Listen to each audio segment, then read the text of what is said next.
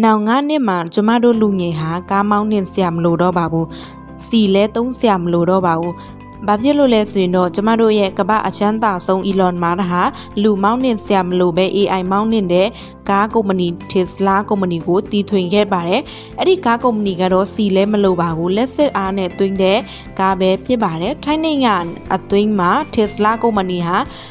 ဝယ်ယူတဲ့လူအများစုကိုတွေးရပြီးဖြစ်ပါတယ်။ Tesla နဲ့ SpaceX ကုမ္ပဏီတို့ရဲ့အမှုဆောင်အရာရှိ Elon Musk ဟာကမ္ဘာပေါ်မှာအချမ်းသာဆုံးပုဂ္ဂိုလ်ဖြစ်လာခဲ့ပါတယ်။ပြီးခဲ့တဲ့ဇန်နဝါရီလ9ရက်နေ့ဟာ Tesla ကုမ္ပဏီရဲ့ရှယ်ယာဈေးနှုန်းတွေဟာခုန်တက်ပြီးတဲ့နောက်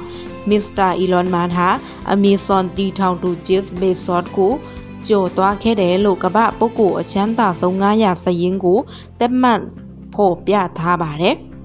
Mr. Elon Musk ရဲ့အသားတင်ပိုင်ဆိုင်မှုဟာဇန်နဝါရီလ9ရက်နေ့ဈေးကွက်ပိတ်ချိန်မှာဒေါ်လာ195ဘီလီယံအထိရှိခဲ့ပြီးတော့အဲ့ဒီပမာဏဟာမစ္စတာဘီဆိုရဲ့ပိုင်ဆိုင်မှုထက်ဒေါ်လာ10ဘီလီယံထက်ပိုများနေခဲ့တာပဲဖြစ်ပါတယ်။မစ္စတာအီလွန်မာရဲ့ဒဏ္ဍအင်အားကတော့လွန်ခဲ့တဲ့12လအတွင်းဒေါ်လာဘီလီယံ150ကျော်လောက်တိုးပွားခဲ့တာလည်းဖြစ်ပါတယ်။ Tesla ကတော့အရင်နှစ်တုန်းကအဲ့လောက်ထိ stock share ရတိုးပွားမှုမရှိခဲ့ပါဘူးဒါပေမဲ့2019 2020 2021ခုနှစ်အတွင်းမှာတော့ Tesla ကုမ္ပဏီဟာအရန်ကိုအောင်မြင်လာခဲ့ပါတယ် stock share ရအရန်ကိုကြီးပွားလာခဲ့ပါတယ်အကြောင်းကတော့2020ပြည့်နှစ်အတွင်းမှာ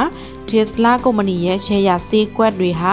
943ရာခိုင်နှုန်းအထိ မြင့်တက်ခဲ့လို့လည်းဖြစ်ပါတယ်။အဲ့ဒီကားထုတ်လုပ်ရေးကုမ္ပဏီရဲ့ရှယ်ယာတွေဟာဆိုရင်ဇန်နဝါရီလ9ရက်နေ့မှာရှယ်ယာခိုင်နှုန်းနီးပါးမြင့်တက်ခဲ့တာလည်းဖြစ်ပါတယ်။မစ္စတာအီလွန်မတ်ဟာဘယ်လောက်ထူးဆန်းလဲ။ကဲအလုပ်ပြန်စားရတော့မယ်လို့ Twitter မှာလည်းရေးသားခဲ့ပါတယ်။ Twitter ကို Elon Elon Musk ဝင်ပြီးဝယ်ယူခဲ့တာလည်းမကြသေးပါဘူး။ပြီးတော့လည်း Twitter ကို သူဘယ်ကိုခေါ်ဆောင်သွားမလဲဘယ်ပန်းတိုင်ကိုခေါ်ဆောင်သွားမလဲဆိုတာကျမတို့လူငယ်တွေစောင့်ကြည့်ပြီးတော့တေချာ Elon Musk ကိုစောင့်ကြည့်ရမယ်ဖြစ်ပါတယ် Twitter မှာစီးပွားရေးလုပ်ဖို့နဲ့ cryptocurrency ဝယ်ယူဖို့လည်းစဉ်းစားထားတယ်လို့ Elon Musk ကပြောခဲ့ပါတယ်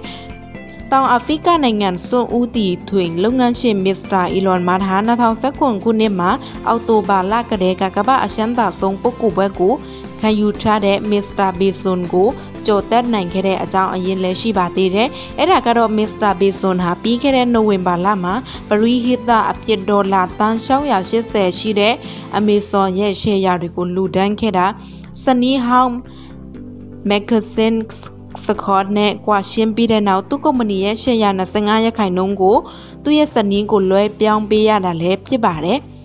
ဒါကြောင့်မလို့ Elon Musk ဟာသူ့ကိုကြော်ခဲ့နိုင်ခဲ့တာပါဖြစ်ပါတယ်။ဒါပေမဲ့တသေးကြီး Elon Musk ရဲ့ Tesla ကုမ္ပဏီ stock share တွေဟာပြီးခဲ့တဲ့နှစ်မှာကုမ္ပဏီအောင်မြင်စဉ်ကတည်းကတရိပ်ရိပ်တက်လာခဲ့တာပဲဖြစ်ပါတယ်။ Elon Musk လို့ပြောလိုက်တာနဲ့သူဟာဘာပဲလို့လို့